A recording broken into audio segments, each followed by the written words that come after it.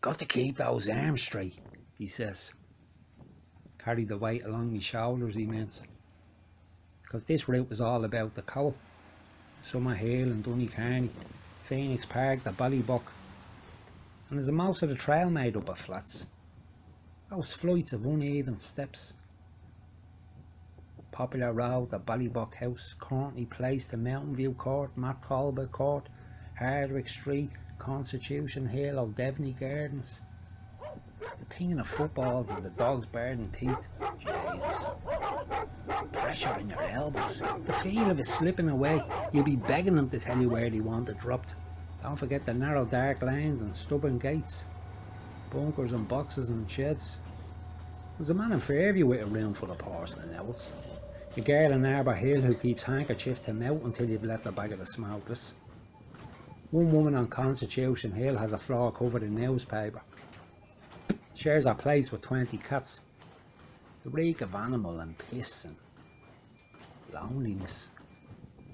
You met Bridget, did you? He says. The heart goes out her, is what he means. Back in the truck with the smoke and the dust and the Dempsey's on the radio.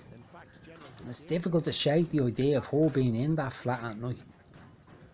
Felines crying like infants, scratching and tapping about the room. Does it affect you? These people, this place, this route and this job.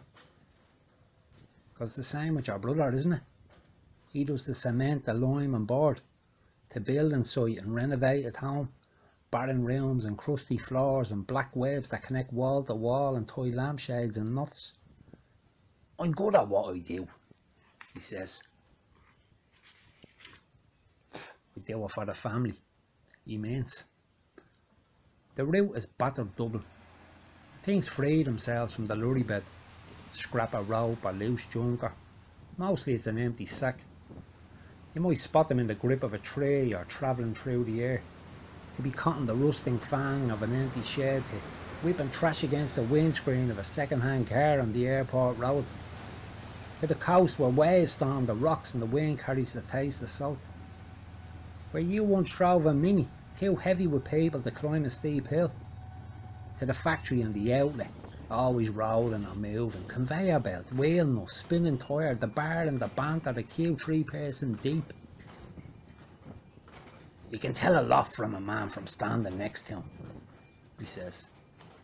Personality has substance, he means. It's not always about how they speak or what they plan to do. It's as much about what they've done before. Or history. You'll find that in the Sunday score sheets or in the names on a local plaque.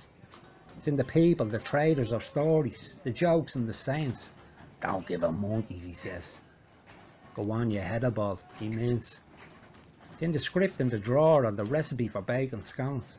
It's in the shoebox on top of the wardrobe, the one with the ill-fitting lid. In the photographs it contains. In the bundle of ticket stubs or football programmes. In the birthday card at the bottom. The words inside are large and unsteady. Child's writing. To grandad, it reads. Love always, is what it says.